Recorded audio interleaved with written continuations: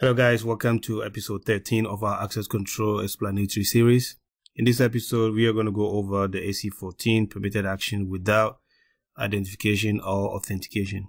But as always, a free way to support the channel is by hitting the subscribe button to help grow the channel if you haven't done so already. And I appreciate that support. And also do smash the like button and the notification bell to get notified whenever I upload new videos. Thank you and let's get started. This control is put in place if and when the organization or the agency has any business needs that allow any information systems actions to be performed without a unique identification or authentication of the user. This control is selected for all the control baselines, that is the low, the moderate, or the high baselines. For example, in the Rev 4, we, we can see that the AC14 permitted action without identification or authentication is selected for the low baseline, the moderate baseline, and the high baseline. Likewise, in the Rev 5, it is also selected. You can see that AC14 permitted action without identification or authentication is selected for the low baseline, the moderate baseline, and the high baseline. All right, so now let's read the control requirement for AC14 in the 853 revision 5 document. AC14 permitted actions without identification or authentication. The control A.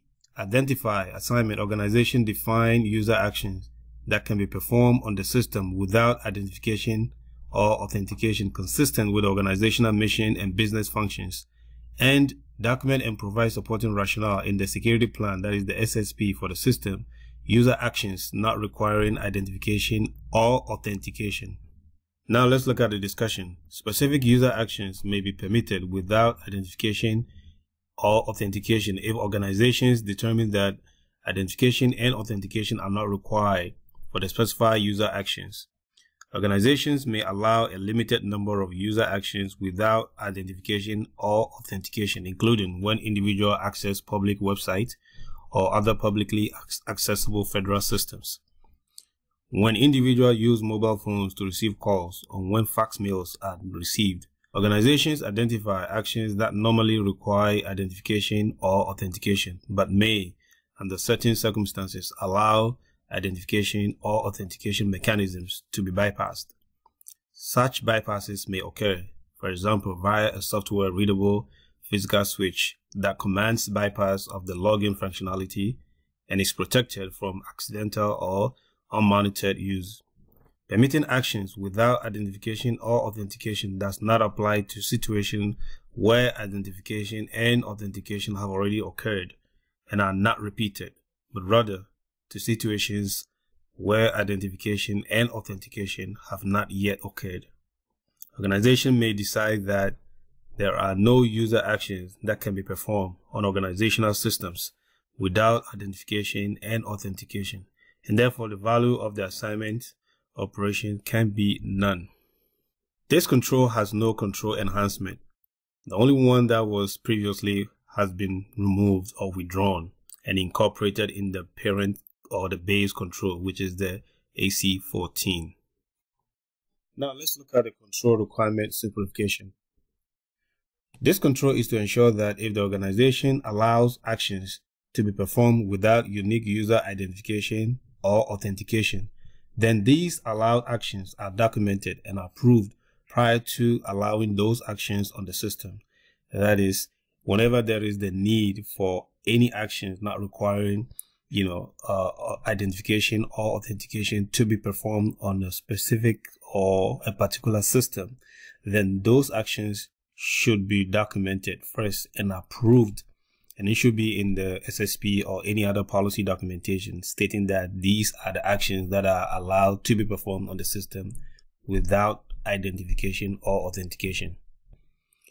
So what are some of the benefits or why do we need this kind of uh, control within our system or within the federal system or organizational system? Easy access to public website or publicly accessible federal system. If there is the need for public or the public to access any federal system, you know, then you don't need to have identification and authentication on that publicly facing website.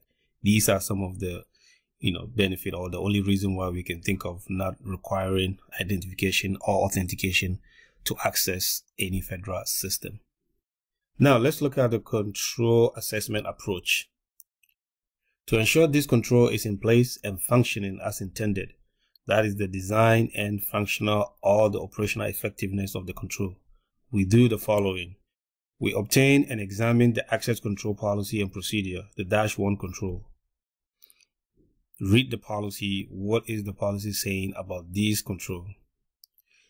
And then the second one is you obtain and examine the system security plan, the SSP, to read the permitted actions without identification or authentication control to ensure that the agency or the organization has documented the rationale as to why specific actions on the system do not require identification or authentication. Also, read the rationale. Make sure you read the rationale documented to make sure they do not pose any security risk. If they do, call it out.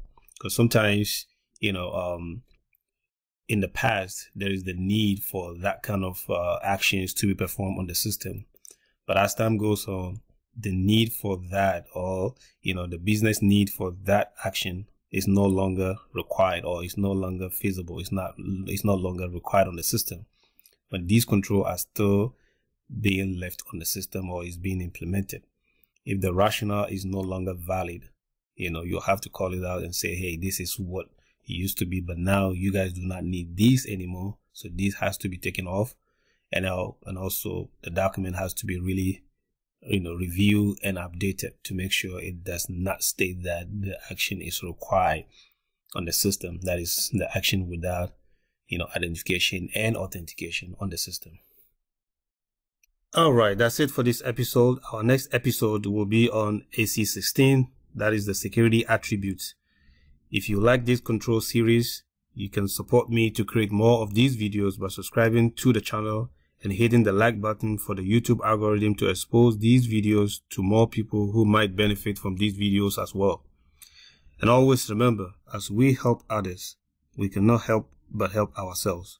Thank you and I will see you in our next episode.